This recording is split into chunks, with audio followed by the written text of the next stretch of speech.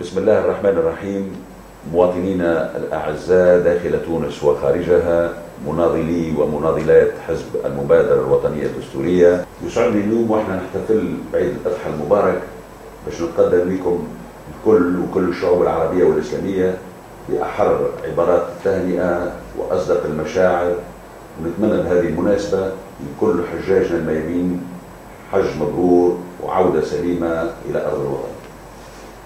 هذا العيد يجعلنا نتذكر خاصة شهداء الوطن الأبرار اللي إن شاء الله ندعو لهم دائما بالرحمة وربي يصبر أهاليهم وندعو للجرحى بالشفاء العاجل ونتذكروا زاد في هذا اليوم أفراد قواتنا الجيش الوطني والأمن الداخلي باش نحييهم في أي موقع هم موجودين فيه وعلى ما يقوموا به.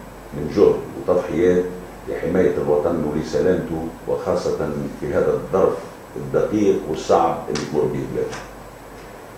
عيدنا اليوم عنده كذلك طابع خاص ولأنه جاء مع انطلاق الحملة الانتخابية التشريعية اللي نتمناه باش تدور في أحسن الظروف وندخلوا الانتخابات وكلنا أمل متفائل وندخلوا بعدها خاصة في عهد جديد.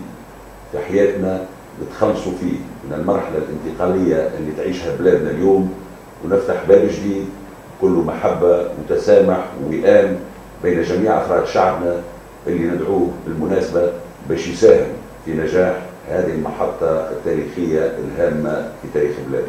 وأنا ما نشكش اللي حضورنا في هذه الانتخابات كبيرة وكبيرة ياسر. ونجاح حزبنا يدخل في باب العمل اللي انطلقنا فيه من أبريل 2011 يعني بعد ثلاثة شهور فقط من الثورة.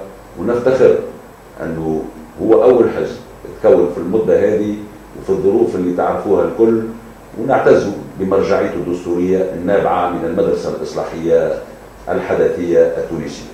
نغتنم الفرصة المباركة هذه باش نجدد شكري وتقديري لكل من ساهم في تعزيز إشعاع حزبنا في كل أنحاء البلاد.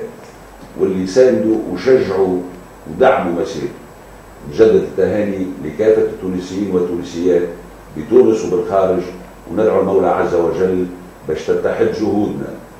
جهودنا الكل حتى نحقق مع بعضنا اللي يطمح له الشعب التونسي من مستقبل بكل خير ونجاح وأمان وتنمية شاملة في نطاق العدالة الاجتماعية وتثبت معاه كل ركائز الجمهورية وهيبة الدولة اللي هي مهمة جدا مع احترام القانون والانكباب على العمل. عيدكم مبروك وكل عام وأنتم حيين بخير. كان الله في عوننا جميعا وهو ولي التوفيق. والسلام عليكم ورحمة الله وبركاته.